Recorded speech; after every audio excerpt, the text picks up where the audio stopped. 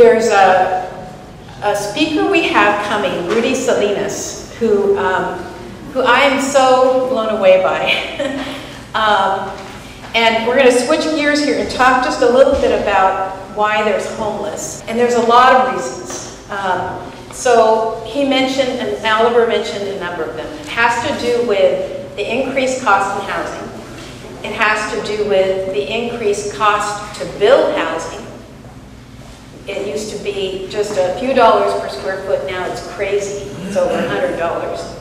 And it, so it's gone from like 1950 to $20 a square foot to over, over 100 to close to 200 square foot. It has to do with um, with the cost, the increased costs, the, the higher cost of housing, as well as we're losing affordable housing.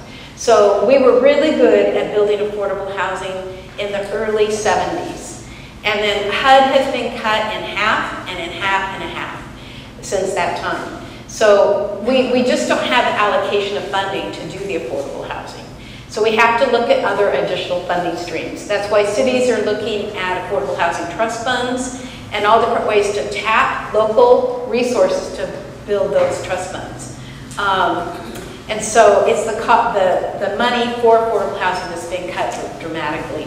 Um, there's a couple other factors. It's on a slide I'm going to show you as soon as uh, Rudy uh, starts, uh, after he shares. But I wanted to mention some of this because it really enables us to see right now it's a very unique time in history where all of these things have converged. Um, there's, a, there's something I want to read about Rudy. Um, it's his, his uh, bio. You have the list here of all the bios. He's worked with people experiencing poverty and homelessness since 1998. And he's truly a trendsetter. He's leading in developing new strategic approaches to engaging people living on the streets. He's right now the Chief Program Officer for the Blessed Sacrament in Hollywood. And um, and, and his experience in directing street outreach initiatives in Southern California have served a foundation of how policy has been shaped across our country. So we're really blessed to have uh, someone of his caliber to come and be with us today. Um, he's recognized broadly as being a highly valuable community partner able to respond to calls for assistance in connecting homeless individuals with the services they need in a compassionate manner. So his work has been highlighted in LA Times, Geograph National Geographic, um, on TV, CNN, and BCC. So um, I want to welcome Rudy. Please give him your hand.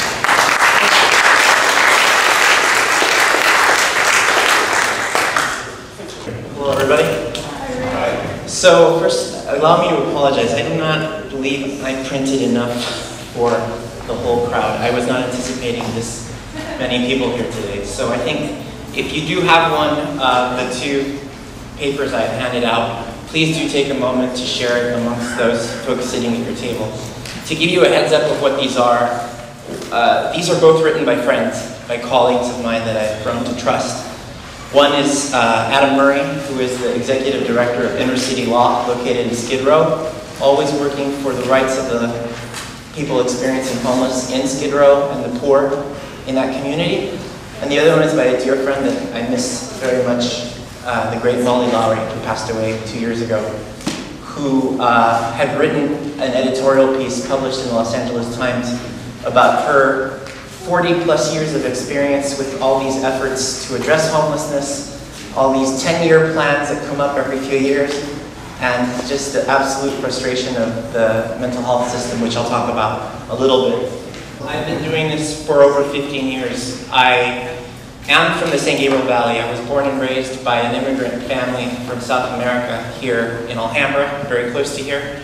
And I was raised a very strict Catholic, and I was put through uh, a lot of uh, different spaces in my life where I was able to be involved from childhood in communities that struggled, communities made up of immigrants, communities that basically uh, my parents put me uh, in front of as a child in order to understand the gift and the value of what I had at home growing up in a nuclear home, two parents, a sister, a dog, and all the other wonderful things that you get growing up in Southern California.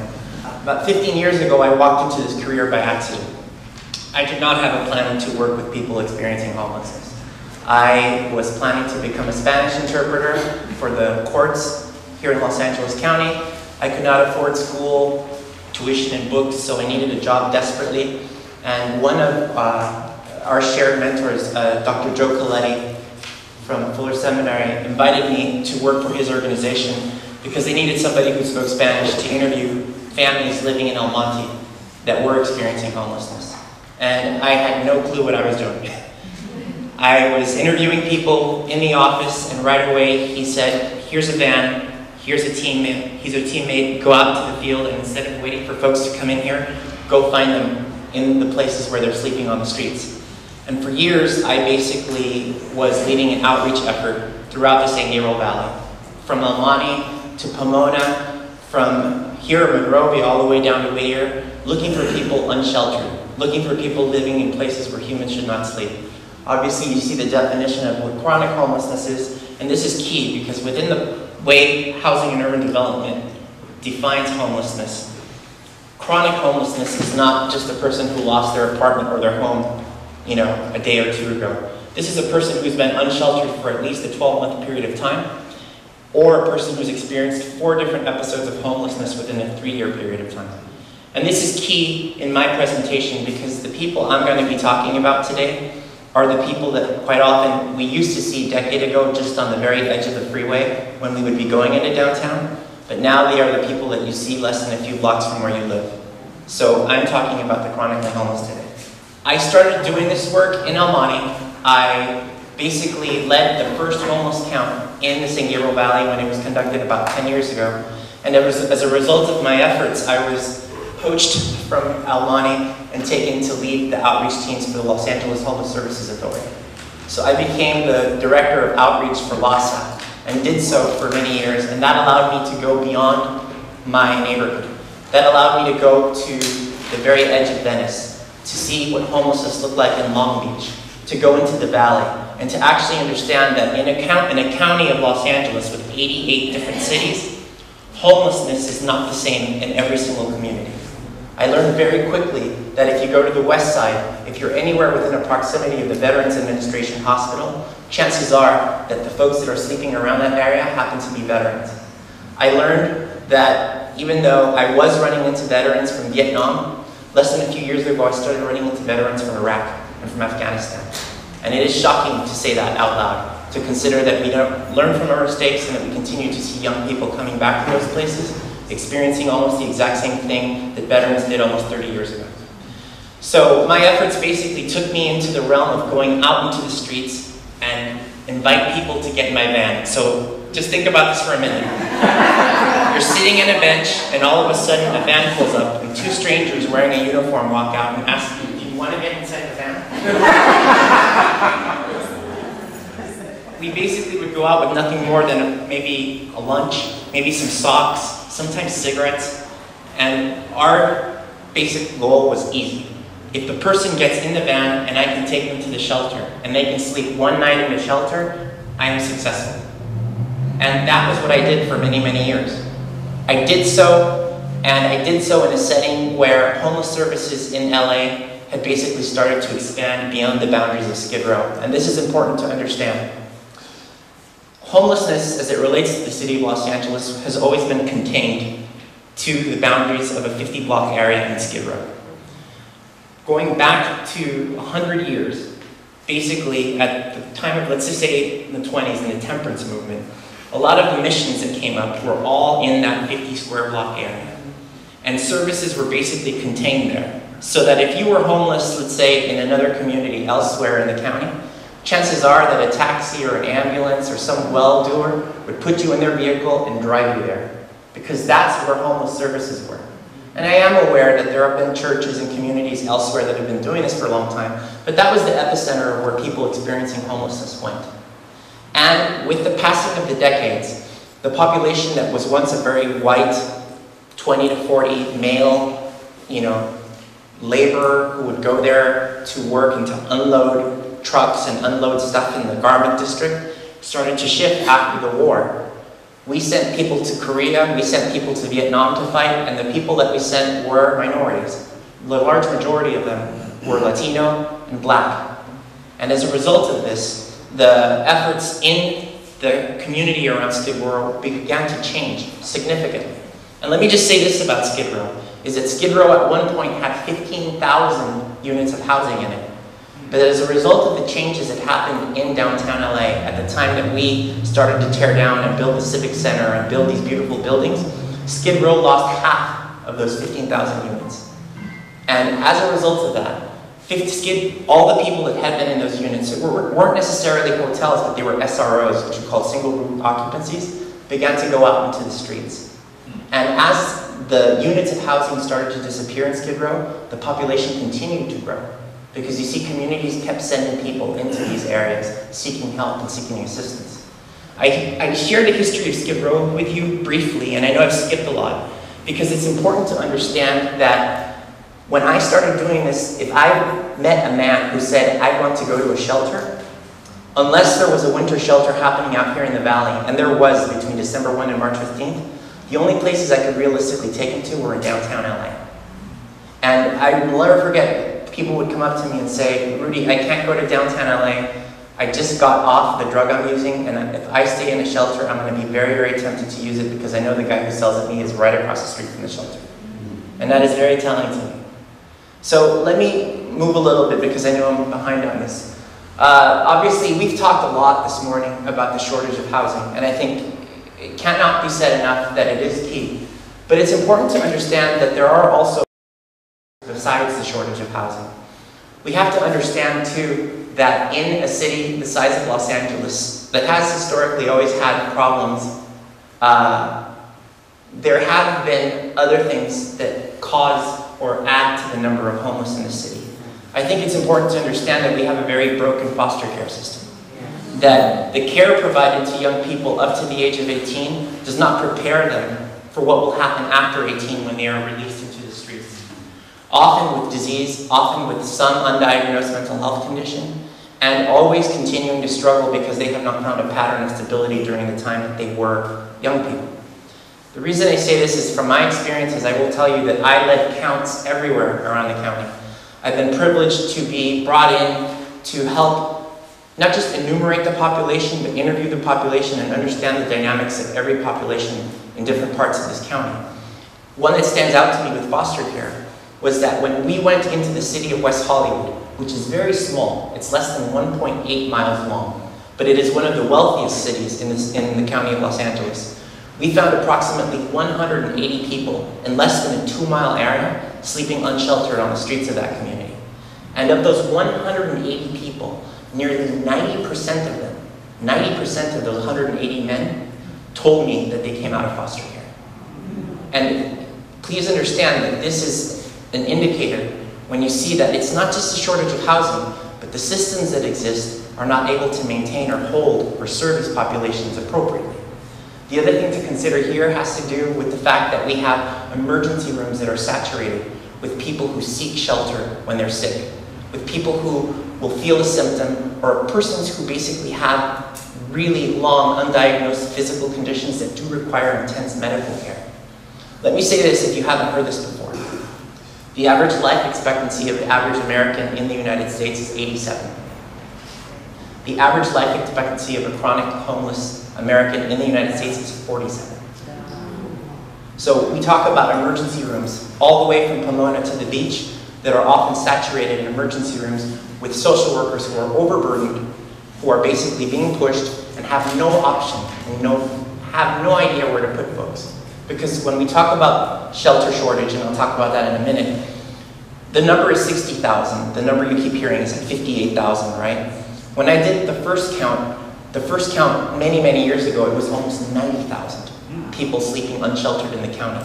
And just take this into account for a minute. For those 90,000 people, there were at one point less than 14,000 shelter beds. So if every single homeless person on one single night decided that they wanted a shelter bed, of 60,000 or 80,000, depending on which count you go with, less than 14,000 of them would be able to get into a bed. And that's the system we were in. The way we've handled homelessness for decades has been providing soups, providing food, providing shelter. when you would go into the system, if you were good in a shelter and you behaved and you managed to follow the rules, and let me show you the rules. Well, that's me. I'll get back to that in a minute. Uh, uh, when you get into the shelter, you must look for permanent housing. You must help with chores. You must follow the curfew. You must, believe it or not, pee in a cup sometimes to make sure that you're not using drugs. You basically had to follow a series of different rules that allowed you to have the possibility to stay in the shelter that night. And if you actually did all those things in an emergency shelter, you would graduate to a transitional shelter. And let me use this word really quick. Transitional is different than emergency. Emergency, based on HUD's guidelines, is 90 days. Transitional is anywhere from 18 months to two years. Transitional does not look as scary as uh, regular shelter. Emergency shelters basically look like this. You would have a large hangar with 400 beds. You would be sleeping next to each other. I once struggled for years with a veteran, convincing him, please come to the shelter. And he told me, no, I'm not exaggerating, at least 20 times. And on the one day it was raining that I got up to the top of the hill to interview the guy, he finally told me, can I explain to you, Rudy, why I don't want to go to the shelter? He said to me, I hear at least 14 different voices in my head. And when I'm up here on the hill and I hear those voices and I look around the hill, I know that I'm the only one here. And I know that those voices aren't around me. But when you put me in a setting where there's 300 other men and I hear those voices, I get in fights. I start getting people and I start hitting them. So I would rather sleep up here than I would in that setting. So let's just go back for a minute. Transitional shelter, 18 months to two years. Transitional shelter, you might get a job, you might get some benefits turned on, and once you do, you're able to get those benefits, save some money, and hopefully get into an apartment or get a job. This that I'm, that I'm explaining to you is the old continuum of shelter. Go back to the beginning of when I was talking. I would get a guy in a van and put him in a shelter. Honestly, less than 3% of the time, that person would actually follow the whole thing and eventually get into housing. Because the people who typically were getting into housing when I started my career were high functioning, were what you call low-hanging fruit, were the ones who did not use drugs or had managed to get off of them and had medication to treat their psychosis. And basically, housing that was available when I started this career was intended for those who really didn't need it that badly. What's changed dramatically in Los Angeles, and this is why you hear H and HHH being thrown around, is the fact that we are now in a model which is called Housing First. About a decade ago, or well over a decade ago, an experiment took place in New York City where everyone, and you guys remember the old New York City before it turned into Disneyland, when it was kind of kind of scuzzy, right? So you had Times Square, basically outreach teams went out throughout Times Square and took 600 people who were sleeping unsheltered around Times Square and put them into 600 apartments that were prepared for them. So imagine an army of outreach workers like me went, met a person, handed them a key, walked them into an apartment in Times Square and put them in there. And for one year, all these outreach workers took these people to medical appointments, took them to buy their groceries, helped them with advocacy at the DMV or at Social Security for one year. The way the experiment works is after one year of working with the folks, everyone got pulled out. And all the folks, the 500 plus folks that were housed, were left to their own devices for one year. So imagine one year of intense services, and then we're going to do one year after the intense services and leave you alone. The city came back on the third year to see what happened to these folks after that one year and realized that 88% of them were still housed. 88% of these folks were still in their housing. The 12% that fell out either fell out because they were incarcerated, because they passed away, or because they were so sick that they needed to be in a boarding care or a skilled nursing facility. And it was at that moment that the city of New York realized, wait a minute, we are bleeding money. We are paying for shelter decade after decade when it's actually cheaper to house this person and reduce our costs across the board. In my efforts in the city of West Hollywood, doing outreach, and I keep going back to West Hollywood because I was there for a while, we found eight men, eight men who were sleeping unsheltered on the streets. And we did an extensive interview with these eight men to find out how many times they got arrested, How many times were they in the emergency room? And basically, these men were getting arrested once every three to four days because of public intoxication. On top of that, they were going to Cedar Sinai, which is the hospital where movie stars go to have babies and die. Right? And these eight men were costing the city of West Hollywood approximately $864,000 a year. Eight men. 864000 for the ambulance driver, the paramedic, the officer, the nurse, the doctor, all of us. It was at that point that the city of West Hollywood, like New York City, woke up and said, absurd. It would be cheaper for us to literally pay their rent, pay you, Rudy, to take care of them in their apartment, than it would be for us to allow them to be outside. And this is where the shift to housing first becomes basically more national. Suddenly, the continuum of services shifts to this idea or this notion that everyone can have direct access to a home. That it does not require sobriety. It does not require medication. I, I don't tell a person, oh, but you gotta be sober before I give you your key. Because in a harm reduction model, I know that if I can keep this person housed, even if they're still using, with my trust and with the time I spend with them, the use will start to minimize itself to the point where it won't affect the life of the neighbors. And chances are, because I've seen it often, this person will eventually start treating themselves and start stabilizing.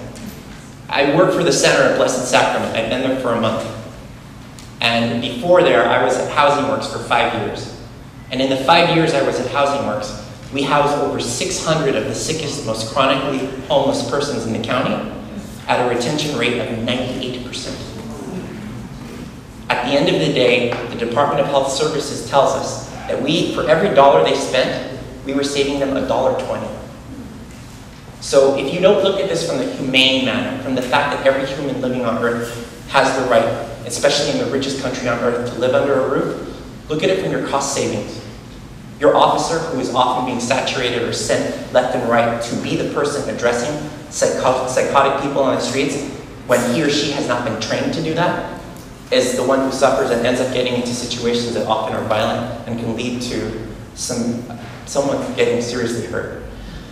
I want to conclude my pieces about Housing First a little bit. Uh, housing First accepts that we basically have housing available to us. And this is where I'm going to go dark for a minute.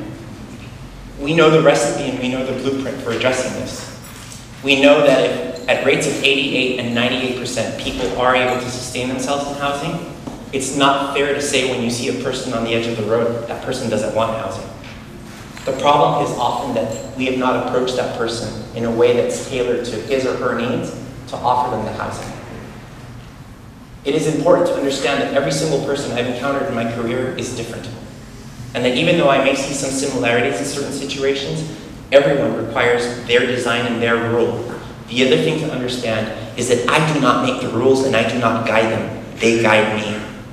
An old boss of mine once said, Rudy, the work you do is like a ballroom dance, where you have both people gracefully going across the dance floor to the sound of the waltz. However, one of them is leading, and the one that's leading is the one that I'm serving. Because the services must be tailored to each person's needs when we do this. My frustration to you all today is that we do not have enough housing. Is that the vacancy rate right now in the County of Los Angeles for apartments that we have Section 8 certificates for is less than 2%. That in the last five years, at least 100 of the people I got to serve had a Section 8 certificate given to them by the county so that they could go out and find an apartment. And at the end of the 90 plus days that they were given to find the apartment, they literally had to give the certificate back to the housing authority because they could not find one. And please consider that for a minute. The need for housing is so severe that we have folks that are now going to the very edges of the city. We have people who are going from places where they were born, raised, went to school, and worked to live in places like Lancaster and Palmdale.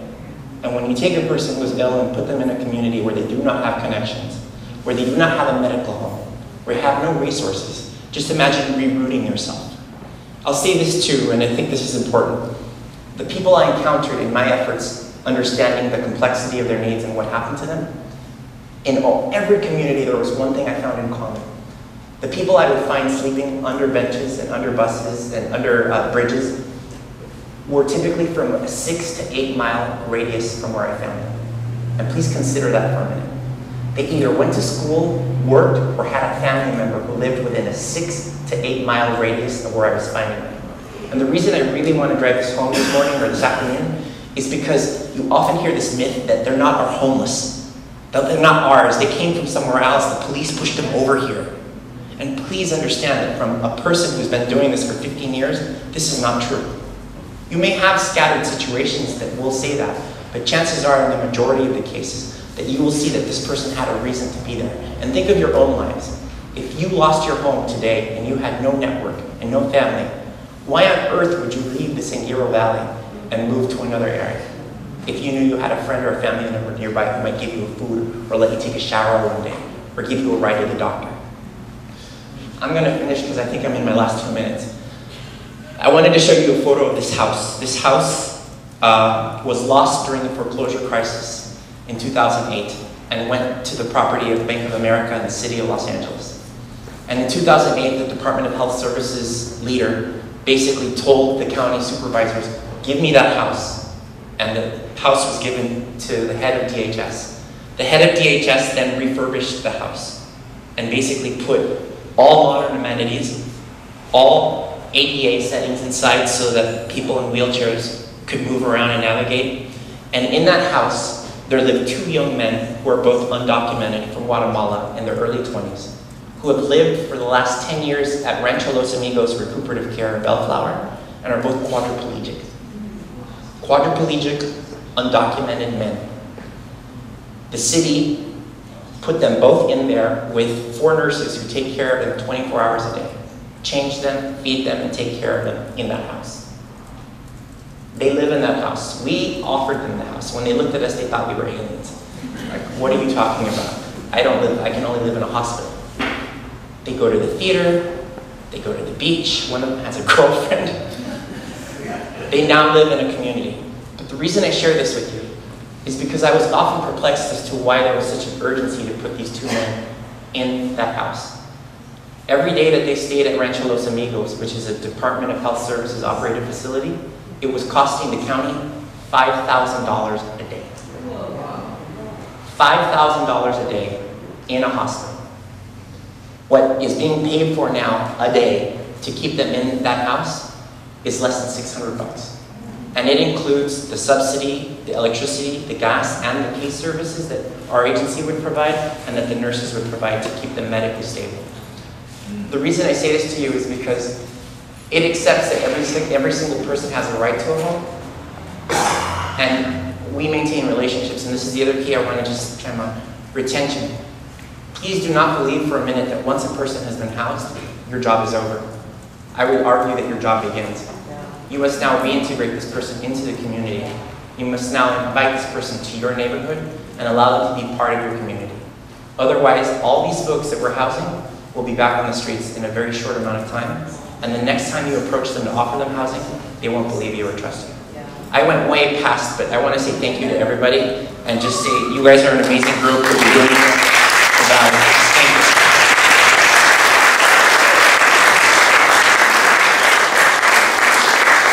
That was really powerful. Thank you so much, Judy.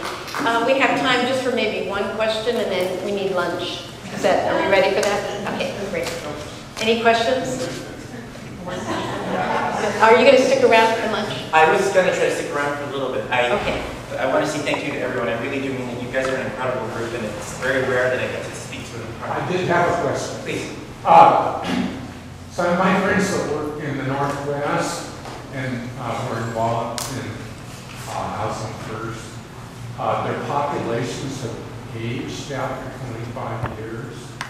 Uh, And they uh, really are dealing with dying and aging and all the things that come with uh, part of life.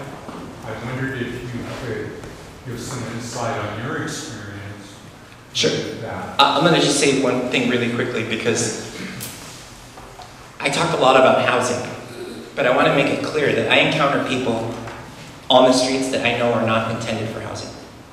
I encounter people who I know need to be in a skilled nursing facility or a boarding care. I've also encountered people that I've housed, and within the first six months that I housed them, they passed away on me. What's really important to understand here is that this is not a simple problem. It will require reshaping the way we treat people in hospitals, the way we treat people in incarceration, the way we provide mental health services for folks. When a person says, I'm addicted to drugs and I want to go into a rehab now, they don't get into a rehab because it's very difficult to get into a rehab. So this problem is not just about building housing and taking care of people in apartments. It's about reforming and changing a lot of these broken systems that we've existed in for decades. Because you've heard it said all morning, the gap is going to continue to grow between the very wealthy and the poor. And you now all go back to your homes and sleep there tonight. But please realize that we are in that category that slowly not our wages aren't increasing, our rents are getting higher, our neighborhoods are changing. And it's very significant to understand here that treatment has to be tailored specifically for each and every individual that we encounter. You were talking about Northeast, like Highland Park, Eagle Rock, or No, no, I meant like Oregon. sorry. I'm sorry, I'm so LA centric that that's my world. But uh, but yeah, no, I think it's very important to understand though that we must have multiple options rather than just housing. Thank you. Thank you. Thank you, thank you.